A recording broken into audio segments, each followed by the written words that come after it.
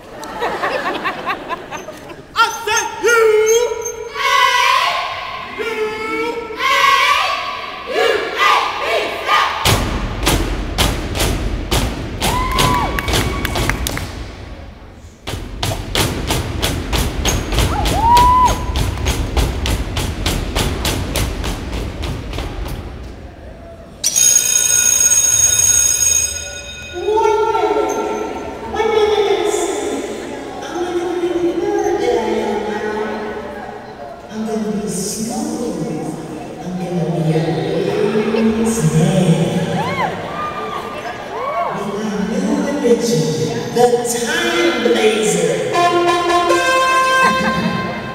I said, the time blazer. I will blaze through time and become smooth, suave, and fancy.